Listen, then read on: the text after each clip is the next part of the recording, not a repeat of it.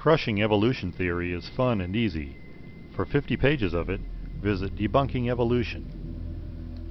People often say evolution is science. The reality is that the theory of evolution is obsolete science.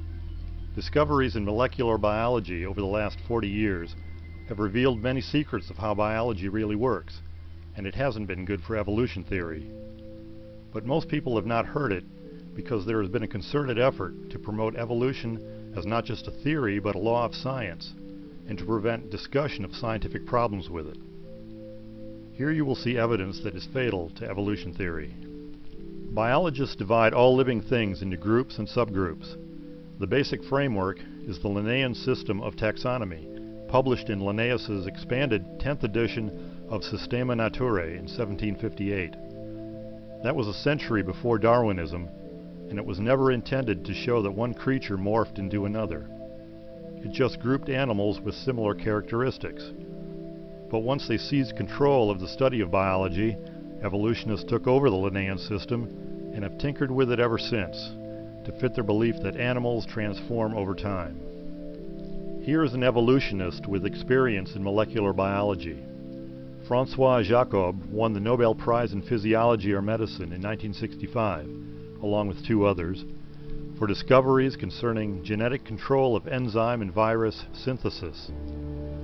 His life's work dealt mainly with the genetic mechanisms existing in bacteria and bacteriophages and with the biochemical effects of mutations. He wrote, Evolution does not produce novelties from scratch. It works on what already exists, either transforming a system to give it new functions or combining several systems to produce a more elaborate one. Once life had started in the form of some primitive, self-reproducing organism, further evolution had to proceed mainly through alterations of already existing compounds. New functions developed as new proteins appeared, but these were merely variations on previous themes. A sequence of a thousand nucleotides codes for a medium-sized protein. The probability that a functional protein would appear de novo by random association of amino acids is practically zero. In organisms as complex and integrated as those that were already living a long time ago, creation of entirely new nucleotide sequences could not be of any importance in the production of new information. For decades everyone agreed, but recently researchers have compared the genes of similar creatures and they found that the genes differed from just a little to a lot. They imagined different ways the genes could have morphed. Evolutionists do not know what really happened. They assume it was one of these mental explanations, and that is enough for them. But some genes are so unique even imagination fails. Orphan genes are defined as genes which lack detectable similarity to genes in other species. They typically make up 10 to 30% of all genes in a genome.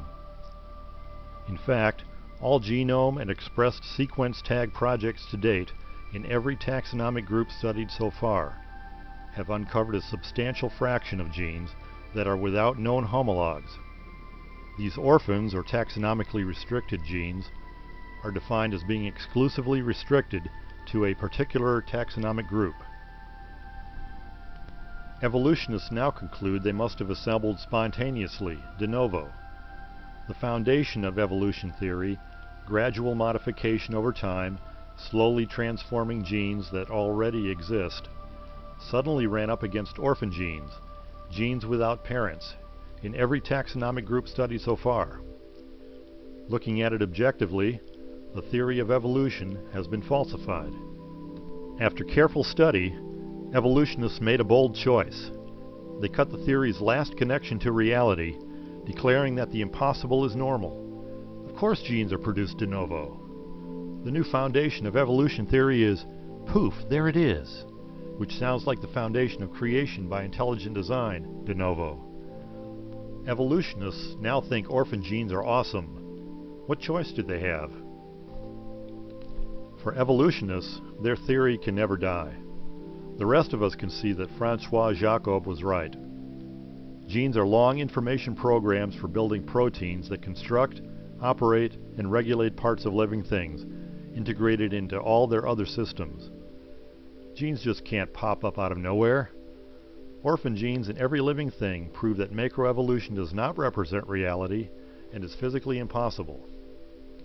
It's not just genes popping up on evolutionists' imaginary tree of life, whole parts do too. Moving up the tree, you see that parts can be lost from a creature and then exactly reinvented in the same creature millions of years later. And that might happen several times. What's more, the same part might appear independently in unrelated creatures isolated from each other. For example, they imagine wings evolved completely independently four times in insects, flying reptiles, birds, and bats. This gimmick is quite common in evolutionary science. When a creature produces light with chemicals, it is called bioluminescence. Evolutionists think bioluminescence evolved independently 40 to 50 separate times. In another study, evolutionists concluded that the cecal appendix evolved independently at least 32 separate times in mammals. By the way, it is now known that the appendix is a safe house for important gut bacteria when the intestine gets infected and flushed. Evolutionists called it useless. Wrong again. It would be shocking if random mutation, natural selection, produced anything functional, let alone the same thing twice or more from scratch. Reinventing parts over and over again leaves the foundation of the theory of evolution, descent with modification, in tatters. How did evolutionary scientists escape this dilemma? They gave it a name with the word evolution in it, either convergent or parallel evolution, according to the situation. Need a part out of the blue? Just call it convergent or parallel evolution. It's everywhere in evolutionist writings. They just casually throw out statements like, convergent evolution is widespread across the mammal tree of life. It's not just parts popping up on evolutionists' imaginary tree of life. Whole animals do too. The most brazen example is the parallel evolution of the two types of mammals, placentals such as humans, and marsupial such as kangaroos. Evolutionists tell us that each group evolved separately, yet many are remarkably similar including cats, mice, wolves, moles, flying squirrels, anteaters, and others. This is whole animal duplication, not just an individual part.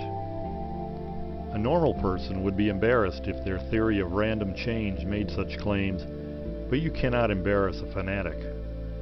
The only reason for the convergent parallel evolution maneuver is to force the tree of life framework onto a world of uniquely designed creatures. The big surprise in the fossil record is right at the beginning. If the first living thing was a single cell, as evolutionists believe, then there should be a long series of simple tiny creatures morphing gradually into bigger and more complex creatures over hundreds of millions of years. So what do we find in the first layer of fossils above the bedrock? The Cambrian explosion, the long trail of evolution is nowhere to be found.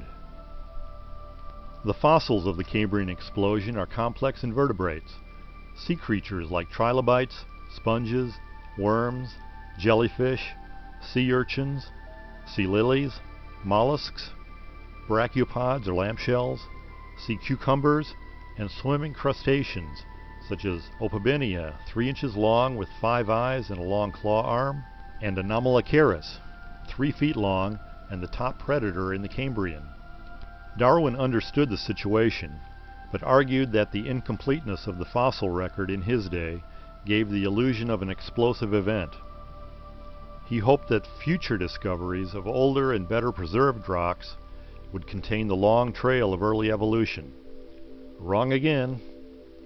After 150 years of searching, we still have the Cambrian explosion. In the classification system biologists use, these animals are so unrelated to each other that they are in different classes or even phyla.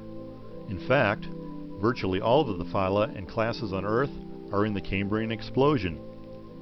From the early Paleozoic onward, there is little addition of new phyla and classes. Little high-level morphological innovation occurred during the subsequent 500 million years. If evolution were true, there would have been ancestors and transitional creatures between each genus, family, order, class, and phylum in the layers below the Cambrian explosion. But there are no fossils for any of them. This has been a constant nagging problem for evolutionists that had to be solved. Finally, a team of evolutionists did it using their most effective tool, storytelling. First, they assumed evolution occurred. Then they estimated how fast it should have happened and decided that the creatures in the Cambrian explosion had been evolving for over 250 million years before any showed up in the rocks as fossils. Yes, millions of generations of all kinds of creatures, all over the world, living, dying, evolving, without leaving any trace of their existence. Their story was published in the prestigious journal Science and hailed as having solved a mystery challenging evolution theory all the way back to Darwin. That is how evolutionary science works today. They tell us stories of what happened. If the consensus of evolutionary science says it, it must be so, though they can change it later. If you don't like it, you must be a creationist and a threat to civilization.